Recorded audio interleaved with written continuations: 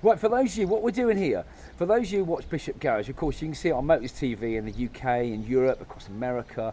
It's all the TV channels. But um, a lot of you watch on YouTube. You're here on YouTube with us now.